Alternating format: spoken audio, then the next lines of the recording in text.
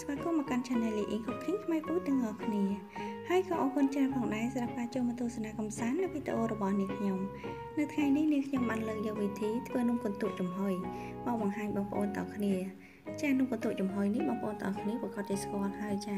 ព្រោះវាមានលក់នៅតាមទីផ្សារជារៀងរាល់ថ្ងៃមិនថាតែថ្ងៃបុណ្យអុំទូកនោះទេសូម្បីតែថ្ងៃធម្មតាក៏មានលក់ដែរចាអញ្ចឹងរសជាតិរបស់វាបងប្អូនតើគ្នាប្រកាសជាធ្លាប់ដឹងហើយថាវារសជាតិឆ្ងាញ់ប៉ុណ្ណាចាអញ្ចឹងថ្ងៃនេះខ្ញុំបានលើកយកវិធីនេះមកបង្ហាញបងប្អូនតើគ្នាអញ្ចឹងបើសិនតែចង់ដឹងថារបៀបធ្វើនិងគ្រឿងផ្សំមានអ្វីខ្លះនោះតើទៅទស្សនាពីរបៀបធ្វើជាមួយនឹងនាងខ្ញុំទាំងអស់គ្នា ចាដំបូងគឺយើងចាប់ផ្ដើមយកល្ងយើងទៅលាងបងប្អូនតើគ្នាយើងប្រើចំនួន2ស្លាបព្រាបាយបើសិនជាបងប្អូនតើគ្នាចូលចិត្តអាចដាក់ច្រើនជាងខ្ញុំក៏បានដែរចាអញ្ចឹងយើងលីងវាចំនួន2នាទីបន្ទាប់ពីវាបាន2នាទីហើយបងប្អូនតើគ្នាយកវាមកបុកឲ្យម៉ត់ល្អចាបន្ទាប់ពីយើងបុកវាម៉ត់ល្អហើយយើងទុកវាមួយអន្លើសិនបន្ទាប់មកយើងចាប់ផ្ដើមលាយម្សៅរបស់យើង ចាម្សៅខ្សាយខ្ញុំមានចំនួន250ក្រាមម្សៅដំណើប70ក្រាមស្ករស150ក្រាម ចាយើងលាយវាកូរវាបញ្ចូលគ្នាឲ្យសព្វល្អបន្ទាប់មក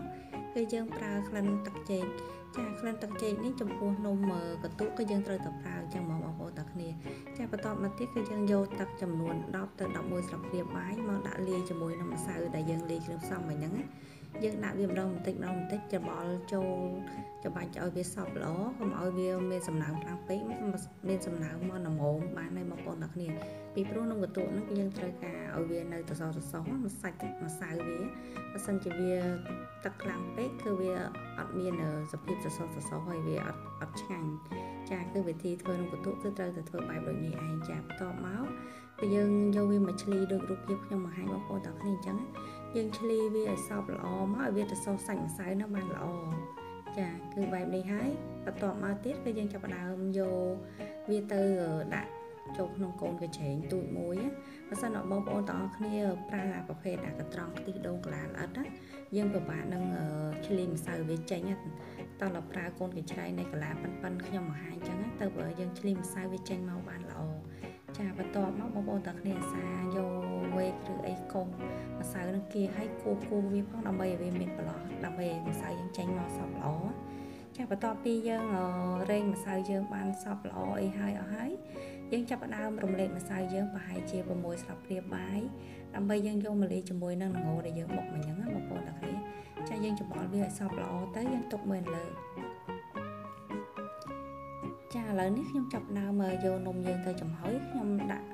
ពុំកូនពុំខ្ញុំទូចមួយហើយខ្ញុំកាត់កដាដាក់ដូចក្នុងរូបភាពខ្ញុំបង្ហាញបងប្អូនអញ្ចឹងដើម្បីយើងដាក់កដាហ្នឹងគឺដើម្បីឲ្យយើងស្រួលពេលយើងចំហុយនំហើយយើងដកវាមកស្រួលមិនសិនដាក់កដាទេ វាជាប់នឹងពុំហ្នឹងវាពិបាកនឹងយើងឆ្កឹះវាចេញមកចា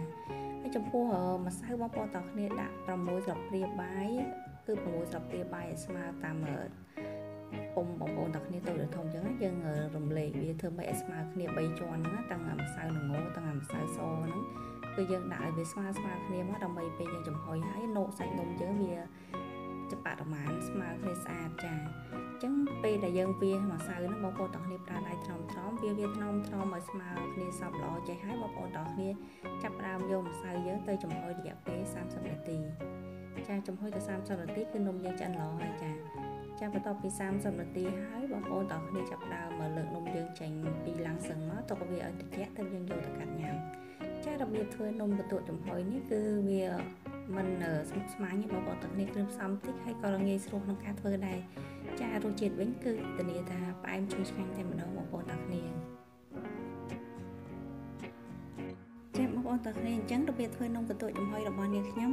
គឺមានតែប៉ុណ្្នេះឯងដែលចែកជូនដល់បងប្អូនទាំងគ្នាទស្សនាកំសាន្ត ខ្ញុំសង្ឃឹមថាបងប្អូនទាំងគ្នាបានឃើញវីដេអូនេះហើយនឹងចូលចិត្តនឹងការបង្ហាញរបស់នាងខ្ញុំបើសិនជាចូលចិត្តនឹងការបង្ហាញរបស់នាងខ្ញុំកុំភ្លេចជួយចុច like share subscribe channel YouTube របស់នាងខ្ញុំអ្នកមួយផងណាចាអរគុណច្រើនបងប្អូនទាំងគ្នាជម្រាបលាជួបគ្នានៅវីដេអូបន្តទៀត Bye bye see you next time